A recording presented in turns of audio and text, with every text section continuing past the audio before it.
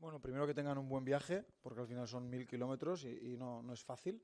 Después que disfruten, tanto hoy como mañana, que es un, son horas históricas y ellos se lo han ganado también y que disfruten al máximo y sí que les voy a pedir que a partir de las 10 que, jueguen con nosotros, ¿no? porque al final los vamos a necesitar.